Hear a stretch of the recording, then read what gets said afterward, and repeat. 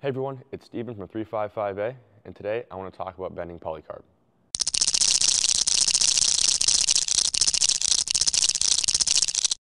So our team uses two main ways to bend polycarb. The first one is a heat gun. A heat gun has a heating element and a fan and blows heat towards a piece of plastic in a pretty general way.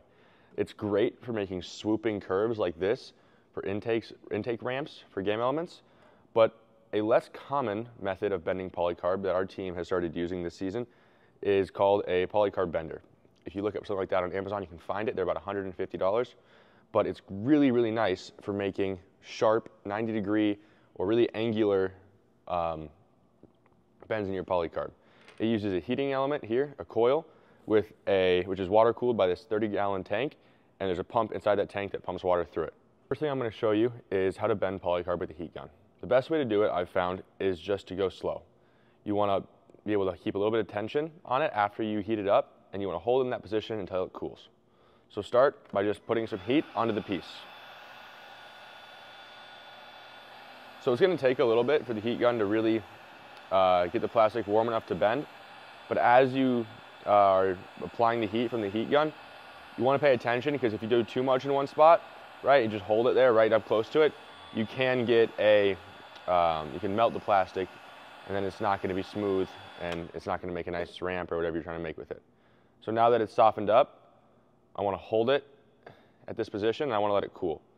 And as it cools, it's likely going to come back from the position I'm holding it in a little bit and return to more of a shape like this. So with the heat gun, we found that you usually have to go over it a few times to really get that position to hold. But after just a little bit of time, you can see that now this piece is a 45 degree bend with a nice smooth curve to it. So now that I showed you the heat gun, next thing I want to show you guys is the polycarb bender. So the polycarb bender, I already got it heated up, right? So it takes a couple seconds to get up to uh, the heat that you select on this little dial right here. And then after you do that, you're just going to place your piece on top of it. You don't want to touch the metal. It gets pretty hot, trust me, I know from experience. And then you'll start to see the, uh, the piece when you flip it over. It gets kind of a shiny hue to it. And that's because the heat is directed right on that one point. So after just a little bit of time on here, just sitting here, you'll be able to take your piece off and get a really nice angular bend. Now we found that with the polycarb bender, when you hold the uh, piece of polycarb in the position you want it to, like actually be bent to, it'll stay there a lot better than the heat gun will. Because the heat gun, if you remember, I was holding it at like a 90 degree angle and it went back to like a 45. Here, I'm holding it at a 90 it's now it's at like an 85 degree angle, but it's really close to that point. So if you want to go for the 90, just put it there for a little bit longer, bring it down a little bit, and you'll get to there pretty quick. And now you've got a really nice angular 90 degree bend that's great for brackets or what I think it's really going to be useful for is making drivetrain caps. With the polycarb limit this year, having two pieces for the top and bottom of a drivetrain cap or a funnel is really not a good decision as you're going to waste two pieces when you could only use one. So when CADing it, make sure that you have one side basically mirrored about the uh, center line, the center line right here of your, um, your funnel piece that's actually going to contact the game elements. And then once you put it on the polycarb bender, you're going to put it from the corner here to the corner down here. There's a slight corner from this uh, angle right here. So you're to match those two up across the heating element, and you're to let that sit there and start to heat up. And then this is to give you a really nice 90 degree bend. Um, and I think that it's also really important to have a nice 90 degree bend on your drivetrain caps because if it's a really swoopy angle, you're to end up with like ramping over other robots and maybe even game elements. And that might be useful for the park zones, but I think the, uh, the risk of ramping over other robots doesn't outweigh that. So as you can see now, it's heated up. Going to start to hold it in this position at that 90 degree, a little bit past it if you want to go back to 90 degrees maybe.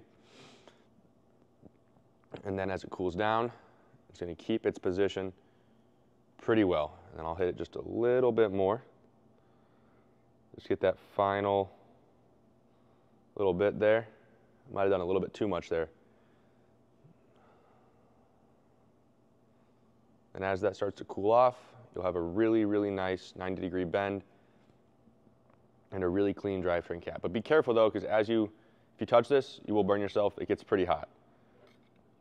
This thing is fantastic because of how hot it gets and how concentrated the heat is, but it's also a bit more dangerous than a heat gun. So make sure you're being careful.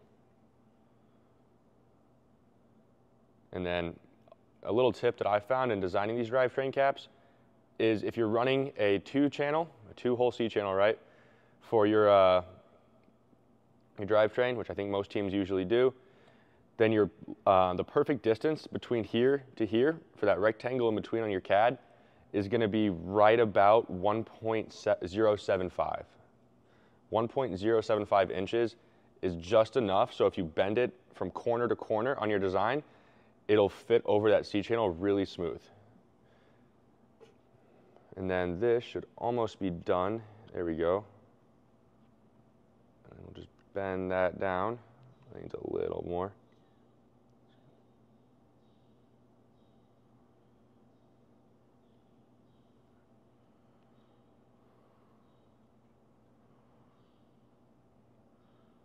And then just once this cools, you'll have your drivetrain caps made. As you can see, using the polycarb bender, we get a really nice funnel that fits right over the edge of our drivetrain really, really smoothly and snugly.